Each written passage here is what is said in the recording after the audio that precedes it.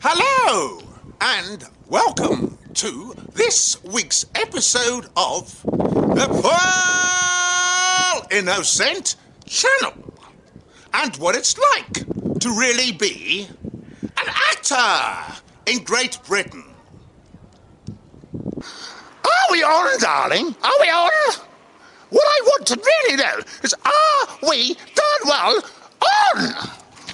Anyway, have a look behind me. Wonderful boats, more and more boats. Amazing.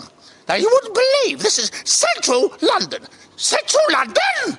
It's central London. That's where it is. We do have boats. Got a plane reading tonight, so just doing my red lorry, yellow lorry, red lorry, yellow lorry exercises here on the South Bank. Amazing. Red lorry, yellow lorry, red lorry. If my tongue's much looser, it'll fall out of my damn head! And we don't want that, do we? No, say, say, no, we don't. No, we don't. We don't want that, do we? Do we? Ha ha! What a glorious day! Beautiful. What do you think?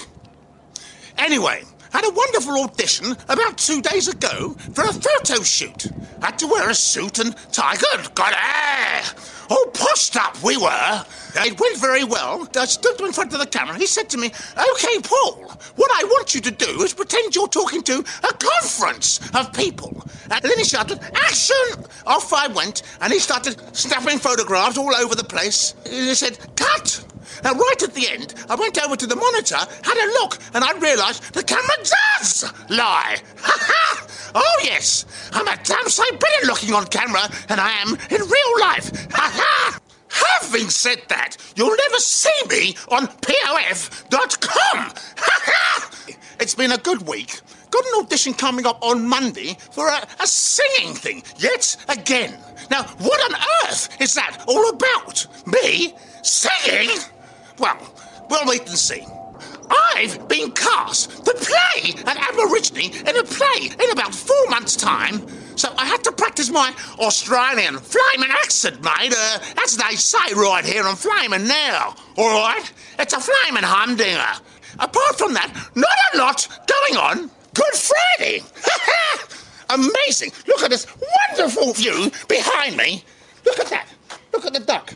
Quack, quack.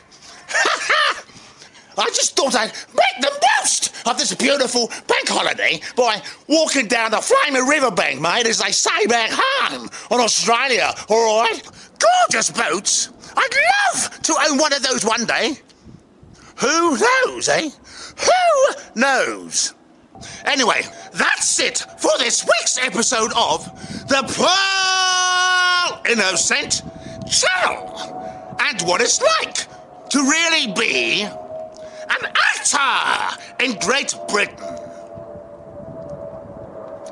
Bye bye.